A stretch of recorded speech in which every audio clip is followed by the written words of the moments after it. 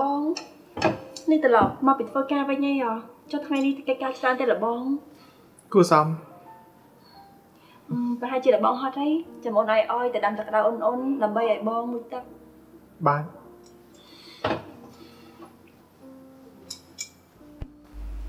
មកអូនដល់កៅអៅឲ្យធ្វើកិច្ចការពេញមួយថ្ងៃត្រឡប់មកផ្ទះវិញបានអបអូនបែបនេះ អារម្មណ៍ហត់នឿយទាំងប្រមាណគឺរំលាយបានអស់ហើយស្រាប់តែមានកម្លាំងចិត្តវិញតែម្ដង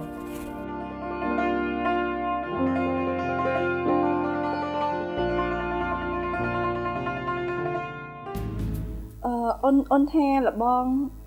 ទៅងូតទឹកសិនទៅដើម្បីឲ្យឆ្លាស់ខ្លួនចន្ទ្រី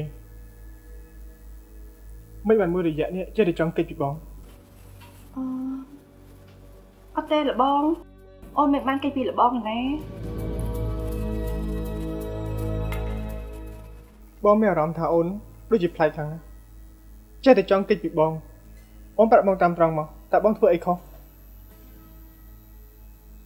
ចេះគឺអត់មានទេលបងមិនបានធ្វើអីខុសចំពោះអូនទេ ហើយអូនក៏មិនបានផ្លែកអីដែរអូនថាលបងកុំគិតច្រើនពេកអីណាមិនអីទេបងធ្វើខ្លួនឯងបាន